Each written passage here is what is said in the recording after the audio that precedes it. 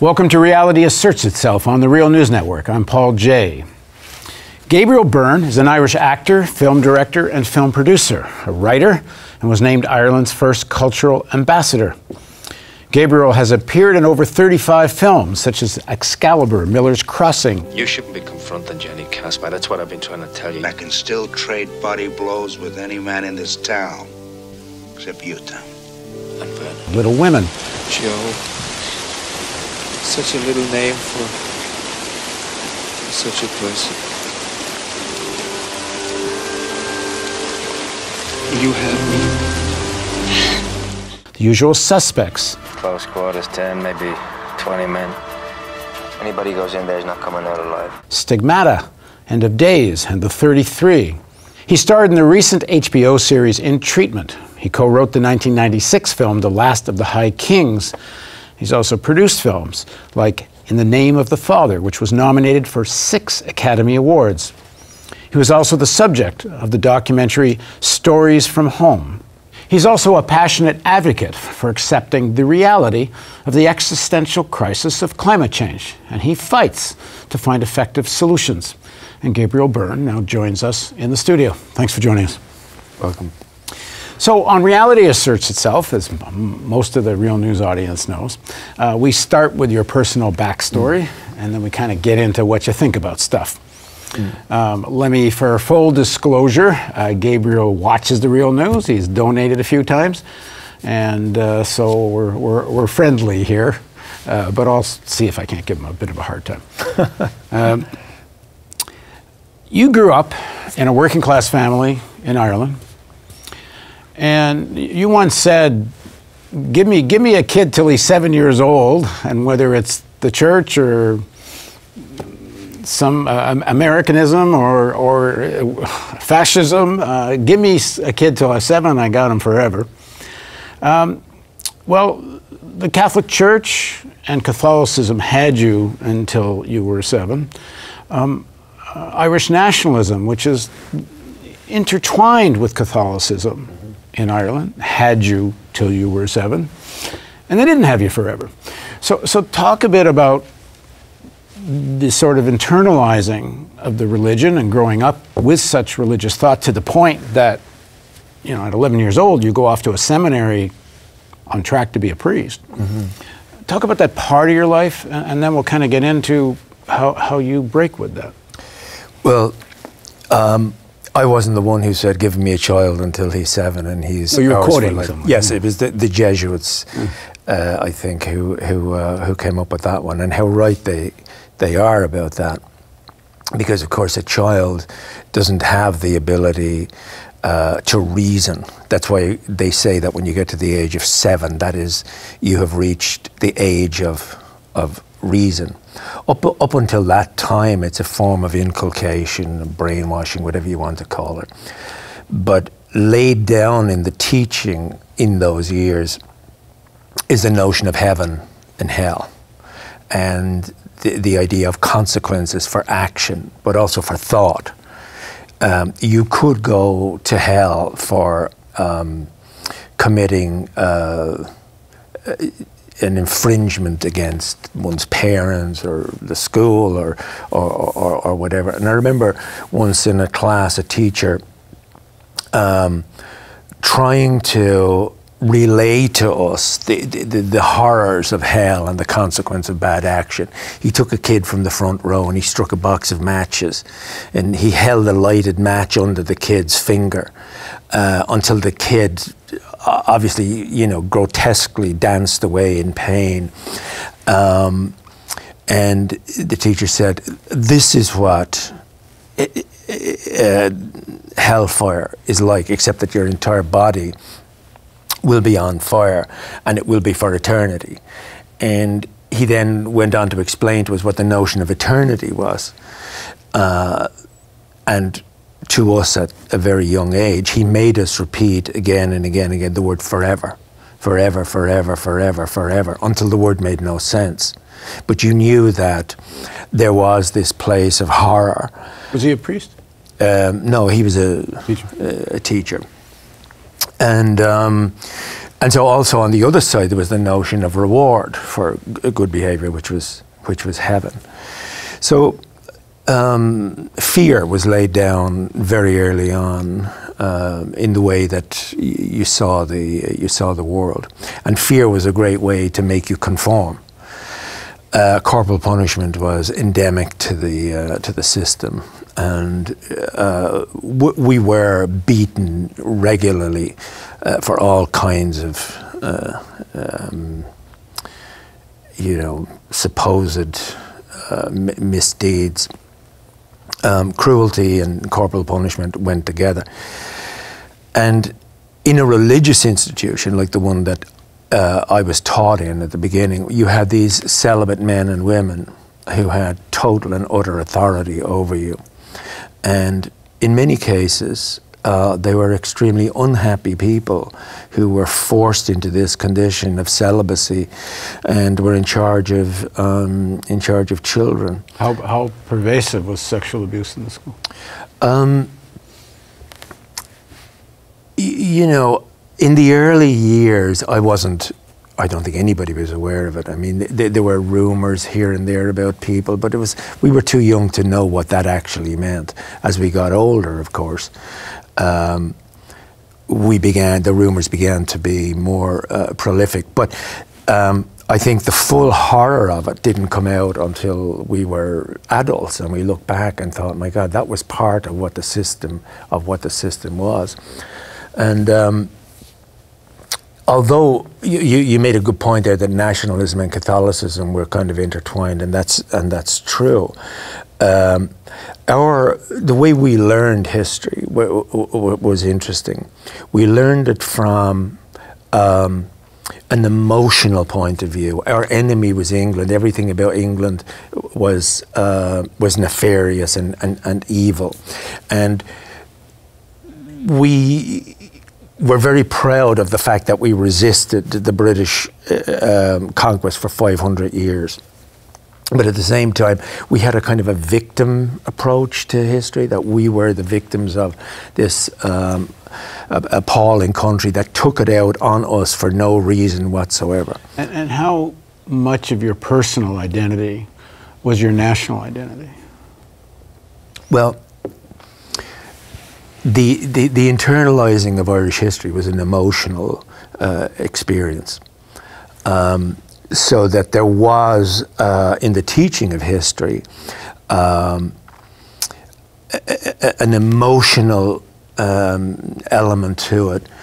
Um, I mean, th- this was a country where heroes were people who died for the country. That was a thing that was uh, among many people aspired to the idea of being a martyr for your uh, for your country. Those people were venerated. Um, Catholicism was unquestioned. Nationalism, to a great extent, was unquestioned, and you internalize those those things before you had a time to really think about them. So that um, when I came to 11 years of age, um, it didn't seem, although it does now, of course, it didn't seem strange to me to decide at 11 years of age that I would want to become a priest. That's what I was surrounded. In spite was of the corporal punishment. in spite of all that. Yes, in spite of all that, because also But what were you getting at home? What, what did your parents do? And did they, were they had bought into all this themselves? Did they challenge the, any of this in any way? Well, to say bought into it im- im- implies that in some way. I guess, yeah, it's the wrong word, yeah, in, but um, But they were immersed in the same yes, they were culture immersed and because be, because it was cultural. It, it was social and cultural. I mean, the, the, the Irish word for church is uh, teach an phobail, which means the, the house of the people, and so. Uh, uh, it, it was cultural and social as much as it was uh, religion. The idea of a God and heaven and hell were accepted w- w- without question. But there was a, there was a left in, in Ireland at the time, which was nationalist but not necessarily so religious, wasn't there? Or Um, secular. I certainly didn't grow up with a sense of there being an oppositional force to it or, or, or there being a left uh, perspective. Um, we, we used to pray, I remember, uh, for the conversion of Red Russia. The teacher would stand up at the end and say, and now we'll say a prayer for the conversion of Red Russia. and we also had our own kind of colonialism, though we didn't see it as that. I mean, Ireland never invaded anywhere, but we would send out these missionaries to countries and uh, to convert them to Catholicism because they were godless and had no direction in their lives, so they needed to be needed to be saved, and and that movement was supported by us at home in the form of uh, putting pennies uh, into a little box where there was a little uh, black uh, boy who, who, would nod his head every time you put in the every time you put in the uh, the coin, and that was for the conversion of their souls. So. Um, the emotional, the emotional uh, nationalism that uh, that I grew up with, um, um, and later came to see that we weren't exclusively the victims of Britain, but we were actually uh, part of uh, the colonial uh, empire, and that other nations also suffered um, like like we did. I can remember my mother telling me that her grandmother saw people starving by the roadside in the Irish famine in, in 1845, where the population of the country went from 8 million to 4 in the space of four years, and which uh, precipitated the um, the huge immigration into into America and Australia from from Ireland had a profound effect not just on Irish history but on America on, on American history too. Um, and that's a that was a huge psychic wound in in in, in the Irish uh, soul, and people remembered it, and they remembered injustice, and they remembered the rising of 1916. Um, I came when you know when I went to England when I was in my twenties to become an actor. Um, I had the real sense for the first time of the uh, uh, of the fact that I was Irish. I didn't ever question my identity, my national, my, my, my, my Catholicism really until I went to England. Because at 11 years old, you go to a seminary mm. that's in London. That, that, that was in England, yeah.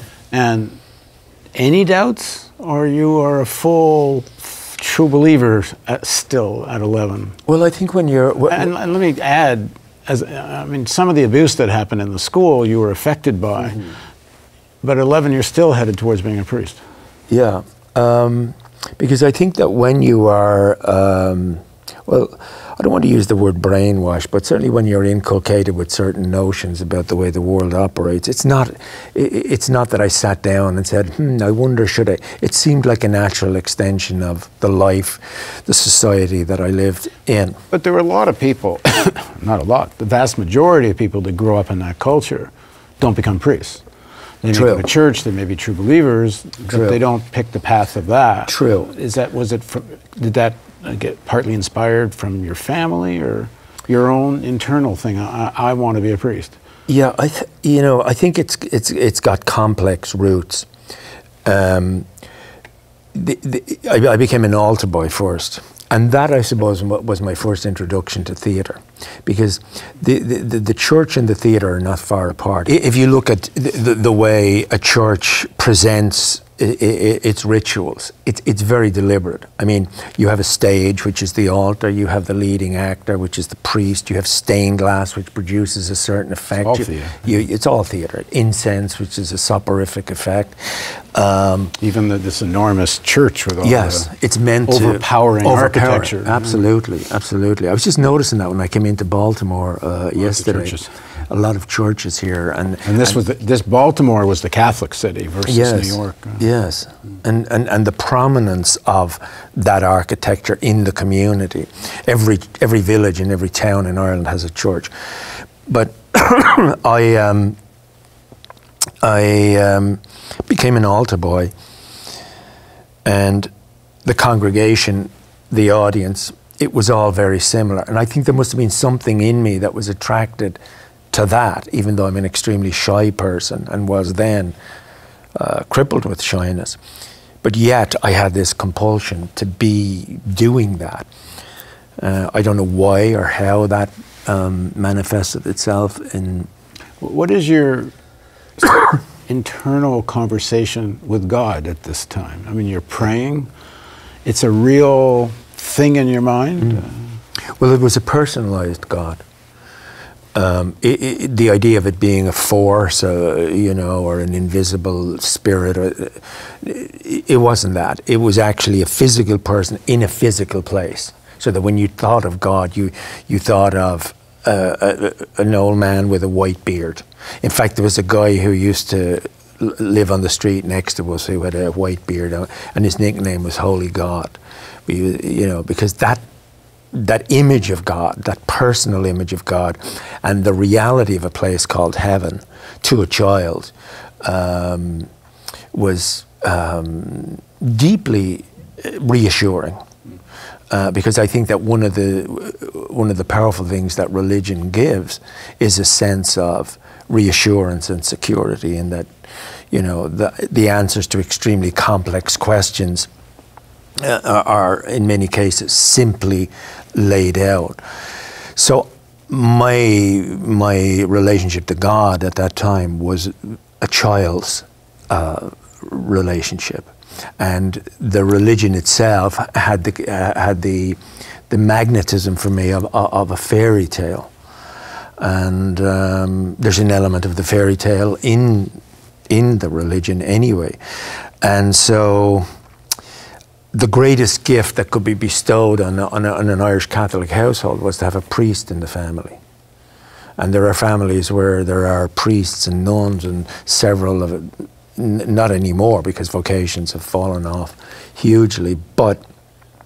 Um, but it would have made your family proud. Very proud, yeah. And I, I, I, I, thought in my child's way that it gave me tremendous reassurance that there was somebody up there, a, a powerful paternal figure who was taking care of me and that I could talk to uh, in, the, in the form of prayer and that I could try to live a good life uh, w- with his help. What did your father do and mother do? Uh, my father was a, a labourer and um, he was uh, he worked in Guinness uh, Guinness Brewery, the famous uh, um, Irish brewery, and he was made redundant at 50 years of age. And I remember thinking to myself at the time, somewhat cruelly, but at the same time in a, in a childish way, well, he's so old anyway. He's 50. I mean, what does he care about going to work? But it's only later I reflected on the absolute injustice of what happened to him and people like him, in that their identity as working class men was bound up in the work that they did. And when they got to be uh, uh, um, 50, they were just thrown on the scrap heap. There was no, they got a pension, a small pension, but their worth as human beings uh, plummeted to the point where I'm sure they had appalling days and nights of, of, of, suffering because they were no longer the breadwinner. My father used to come in on Friday evening with a little brown envelope and he would put it behind the mirror and my mother would take it out and give him back his money for his drink and his cigarettes and his tobacco, uh, whatever. And that was no longer the case and the roles became reversed and my mother went out to work. What did she do? She was a nurse so she she worked the night shift, and uh, my father took care of us, six of us, uh, during the daytime. And um, I remember my father that sense of because associated with unemployment was this notion of shame that somehow it was your fault, and so I know I knew I knew he carried though I couldn't articulate it really at the time, I knew he carried like an invisible hump on his back, this sense of failure and shame. And he tried to do other jobs, but nobody would employ him. And um, he, d- he died at a relatively uh, young age. And I think a great deal of that had to do with How the old fact was he? he was 60, 66. About where you are now. Yeah. And um, he believed all his life. He went to mass every single morning. How, how much did you share your, your internal life with either of your parents? Especially when you start having some doubts about the path you were on. Mm. I, I, I, think the culture of the time, I, am not sure uh, what it was like here, uh, but in Ireland, the idea that parents and children would sit down to discuss an internal life was kind of. I remember there was a, an American television series that was beamed into us in, in Ireland, ludicrously uh, opposite to the kind of experience that we had. It was called the Brady Bunch. I don't know if you remember. Yeah, sure. But we used to look at this. We'd all be sitting around in the sitting room on two or three chairs. You know, uh, I don't want to make a Frank McCourt situation now, but it was, you know, it, it wasn't luxurious. And we'd be watching this thing called the Brady Bunch, and they had a maid who, who poured orange juice for them before they went to school. And the father would say, Okay, kids, let's have a meeting. And I would look at this and I'd say, This thing isn't funny. Why, why, why, why is everybody laughing at this thing? And these kids were saying things like, um, Oh, yeah, I, I have a crush on this girl at school. And kids went to mixed schools for a start they were able to say to their parents, I had a crush on this. And they were incredibly happy because they had everything. It looked to me like um, a, a, an unattainable ideal. And it, what, what was really being shown there was, to a certain extent, the American dream. And the American dream clashed with Dublin working class uh, reality. And you just looked at this thing and you said, my God, there are people who live like that. But that's what America is. Everybody in America lives like that. You, you mentioned at, in school you would pray for the conversions of the Red Russians. Um, how, you, this is you're growing up during Cold War years, mm. uh, and both the American-Russian rivalry, the potential of nuclear war, mm certainly in this country, you know, relentless propaganda against anything left, anything yep. secular, anything that even quasi-socialist, never mind communist. Yeah. Uh, and a purge of the left and many in state institutions and Hollywood and such. Mm-hmm. How much is that Cold War ideology part of what you grew up with? Um, I remember those uh, that. Um, the incident of the Bay of Pigs and the world being brought to the edge of a nuclear war. And suddenly the world started to get really small because um, we lived in Ireland and that was the world to us. And suddenly there was the possibility of annihilation because these two people were doing what? They were having some kind of a row. And we were all. And I remember watching this in they used to put television sets in windows of shops and we were all gathered around this window uh, of the thing watching some kind of a discussion or a program about Kennedy and Khrushchev. And I didn't understand it at the time. And I was looking in the window, and this guy was saying, "Well, that guy, that guy is Khrushchev, and he, and that guy Kennedy is the good, the good guy. This guy is the bad guy, and Kennedy's going to stand up to him. But if they attack America, the entire world is going to be." blown up and set on fire. You're it's, about 13 or 14. Yeah, suddenly, suddenly the world became a very terrifying, uh, terrifying place. Kennedy was deified in Ireland because, of course, he had Irish American roots. And th- th- there used to be in Ireland a very common thing, which was a picture of the Pope looking one way and Kennedy looking the other way. And sometimes Jacqueline Kennedy Onassis until she married, uh, I mean, until she married Onassis, then she was taken out. But the Pope and Kennedy were the two kind of like earthly gods. So Kennedy could do no wrong. And in fact, he came to Ireland to visit uh, but six months before he was uh, assassinated. And they talked about him in the sense of, our boy has come home. You know, the, the, the, the, the Irish uh, grandfather who left Wexford with nothing and then achieved the American dream, and his son became grandson became president, and all that stuff. So, um, I I think after that I was never as secure about the world. That went really deep. In the next segment of the interview, uh, we're going to explore uh, Gabriel's next phase uh, as he starts to break with some of the uh, both nationalist and Catholic religion that he grew up with. and uh, I, I don't know if I'm overstating it, but you know, sort of a coming to a political consciousness that uh, starts to question and challenge many of those assumptions. So please join us for the next segment of our interview with Gabriel Byrne on Reality Asserts Itself.